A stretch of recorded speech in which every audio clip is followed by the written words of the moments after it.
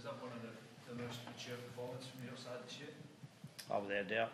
Um, most complete performance. They went for 80 minutes. We had a, you know, obviously they're a good footy team, so we, we, they had their moments and you know, they got off to a good start, but we just hung in there and stayed in the process. So I was really pleased the way we uh, just stuck to our guns and stuck to our plan.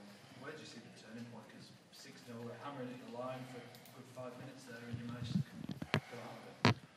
Yeah, it was probably the back end of that first half. There was probably the 20 minute period that we just stayed in the arm wrestle. We just completed our sets and kicked long and you know backed our chase. Um, so that was probably the, the turning point. And I just obviously, you know, just confidence. You know, Zach kicking the two point field, um, field goal, and um, we just defended well in systems. You know, they they're, they're dangerous when they're on the, your try line, but I thought we turned them away. Our edges were good. Uh, stayed in systems. So. Um, yeah, and overall, our best 80 minute performance. What, what do you make of Zach? Obviously, you've had to talk about it every, every week when we come in here, but you know, the field goal, the, sma- the game awareness to do that, and then also the try into the first half, which kind of killed him off. Yeah, he's in good form, without a doubt. Um, we all knew he was a good player, and um, he's you know playing well in our footy team. He's um, doing a good job, a good job. Do you reckon you stick with him there next week, or Oh, I haven't even thought about it to be honest. You know, we'll worry about that. ne- You know, Monday. Just en enjoy tonight. Does he deserve to be in the Origin discussion, Clark? Um, well, Ben thinks he does, um, being a Queenslander, um, but um, without, I I think he needs to be discussed. You know, let's be fair to Inkham about it. You know, um, he's form winger, form centre. that this- He's just in form. So you know, um, in Origin, you need to have players like that, and he comes um, comes up in big plays at big moments. You know, and I think. Um, you know, in Origin, that's what you need. Um, so he, I think he's got the temperament too, as well, to play in Origin. Um, so it'd be, you know, a good winger or a good centre to keep him out.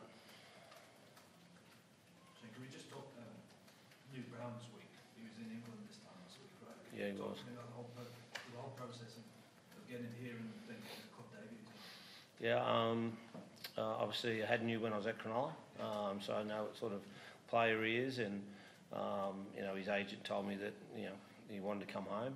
Um, so you know we probably were thinking about getting him before he went to the UK, and, you know back in November, um, but just didn't work out that way. And then obviously he's come back now this time, and you know he's a really big pickup for us because uh, he's a competitor. Um, he takes the pressure off Jacob that we don't have to burn him out like we were. I thought, you know, Jacob's a, really good player and playing in good form at the moment, but uh, you know, big minutes defending in the middle, it takes its tear on uh, a hooker. So he, you know, he needs to be fast and sharp. So Neil give him that opportunity. Ben, just on that two-point field goal from Zach, like, I don't know, it went from what, eight to ten, I think he did the, the margin, but what does it do psychologically for a guy that's when he sits on the kick a field goal right before half-time like that? Yeah, it's just a big lift, really is. Um, to be honest, I can't remember who, who even said it. Someone on the field said, "Let's set up a field goal," and then I called. I knew I didn't have the legs for it, so I called Zach in pretty much straight away. And um, yeah, credit to him, he hit it really well, and it just gives you that bit of a lift, you know, going into half time. That um, you get that two points, and it's yeah, you're feeling pretty good. Especially because you missed two fil- two goals. Yeah, he made up for his He, he goal missed two kick. goals, so um, he needed to make up for it. What about your defence as well, Hunty, like, especially that try that I think you stopped Harris scoring towards the second half? I know coach is probably rapt about that, Yeah. but that's probably the most important or pleasing part of the performance tonight. Yeah, very pleasing. Um, yeah, I think it was Jack de Belin in that instance. It was, it was a massive effort from him, and obviously the goalpost helped out a bit. But you know, the defence for the whole night, you know, they're a very good attacking side. Uh, Wayde Egan, Shaun Johnson can you know tear some shreds off you if you let them, and um, you know I thought we, we handled them pretty well tonight.